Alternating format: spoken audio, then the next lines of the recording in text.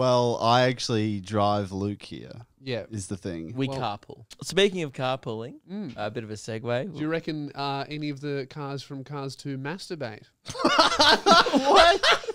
Hit that horn. Carpooling. Hit that horn.